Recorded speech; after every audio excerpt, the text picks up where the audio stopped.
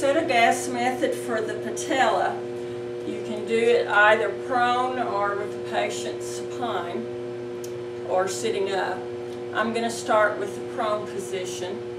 We're x-raying the right patella and if, if you want to start with your foot um, or your leg bent at a 90 degree angle, just look at the femur and the tip fibula and start with a 90 degree angle and then just slightly bend it beyond that so that you can see the actual uh, edge of the patella silhouette on your IR.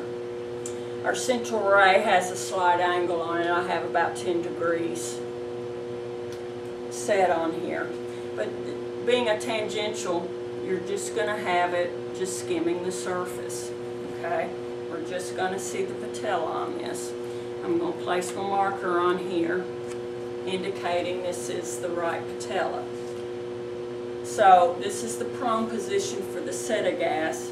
Next I'm going to have patient turn over to their back and if you'd rather do the Settegast method with the patient sitting up, the patient's going to have to hold the IR. So I'm going to have them hold the IR. I'm going to go ahead and place my marker on here till I can get my tube set up. But you're going to bring the tube to the end of the table and then angle it up. And the angle is, is about 15, 10, 15 degrees angling up. And just bring it down so that you can see the central ray skimming the top of the knee. And again, this is just going to include our patella.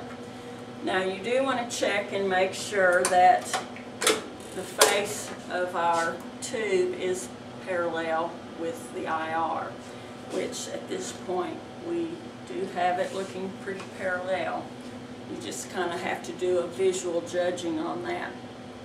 Okay, so this is the Settegast method with the patient sitting up. Now you do want to be careful your patient doesn't wiggle around while they're holding this cassette because we don't want a motion picture. So make sure it is secure and it is in the correct position before you take the exposure.